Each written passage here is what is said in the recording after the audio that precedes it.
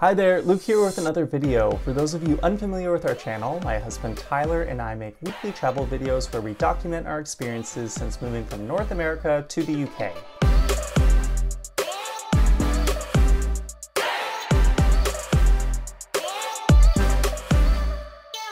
If you caught our last video, we featured some of our favorite towns in the central region of Portugal, whereas in this video, we're going to feature some of our favorite towns in the northern region of Portugal. If you enjoy our videos, be sure to give a comment, like, subscribe, and leave a tip with the super thanks button, as that does help support this channel. With our first highlight of the northern region of Portugal, I want to talk about the Arouca Bridge. We personally reached the Arouca Bridge within the Arouca Geopark from the city of Coimbra. For those of you who are unfamiliar with geoparks, a geopark is a park with a geological heritage of exceptional importance and is recognized as such by the European Network and the UNESCO Global Geoparks Network. The Arouca Geopark became recognized by UNESCO in the year 2009. We chose this location specifically to hike along the Passadiços do Paiva, or the Paiva Walkways. The Paiva Walkways are a series of 8 kilometer wooden footpaths through the geopark and along the river Paiva. The walk is relatively easy, taking about two and a half hours.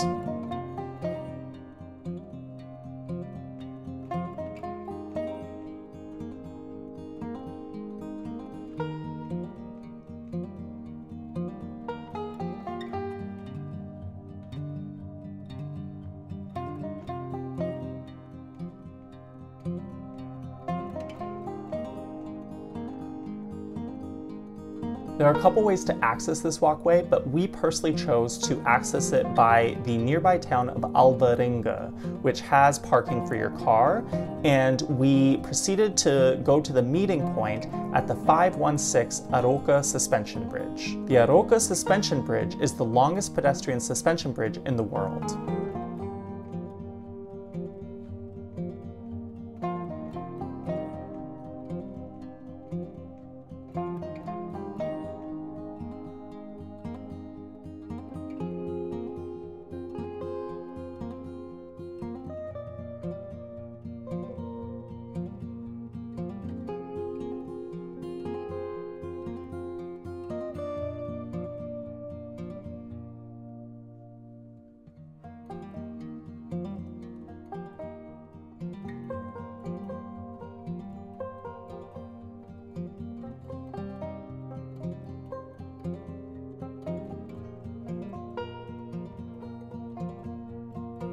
This is just a great area to enjoy some natural scenery, not just the bridge itself, but even the walks that you have towards the bridge as well as after the bridge are well worth taking your time to enjoy and were definitely a highlight of our time in Portugal. So while I wouldn't say that this is a place that is super high on the tourist map yet, I can definitely see that it could be in the future. Do beware that most of the things that we booked, it was all in Portuguese, so if you don't speak Portuguese, definitely set the Google Translate option on because there may be details that you miss. All of our correspondence was in Portuguese, which is a good sign that it is not over touristed as of yet. We finished our walk at the town of Espiunca, and from there we took a taxi back to Alvarenga where our car was parked.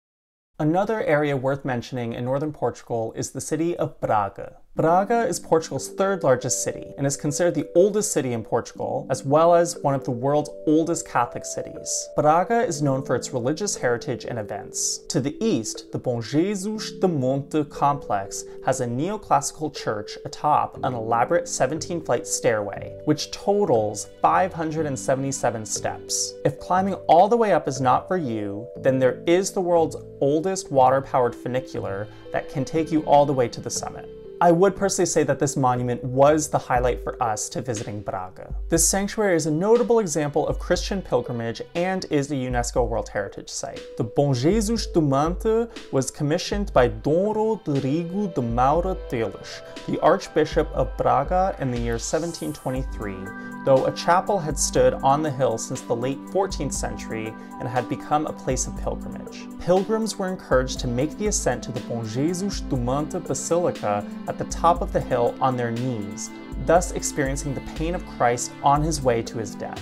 The summit of the hill is now a park with numerous caves, chapels, fountains, grottos, lakes, lookout points, and several hotels. While looking at this, you may wonder if this is a bit far away from the city center. It couldn't be farther from the truth, and we easily accessed it by local city bus. For those of you who are not using a car while traveling around Portugal, do be aware that Braga is easily accessible by public transport, especially by train from the major city of Porto.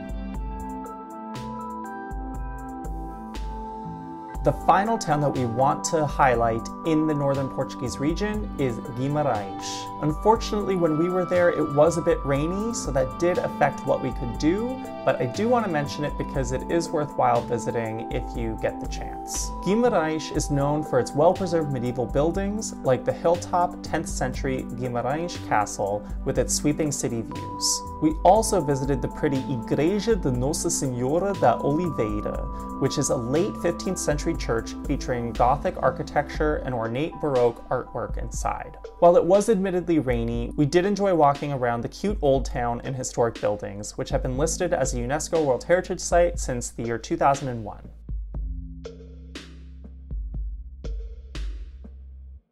Alright everyone, that is it for this video. Hopefully we inspired you to visit Northern Portugal. If you enjoyed this video, be sure to give a comment, like, subscribe, and leave a tip with the super thanks button if so inclined. It's super helpful for this channel, and I hope that you stay tuned for our next and final video of Portugal, which is visiting the Algarve. See you there. Bye.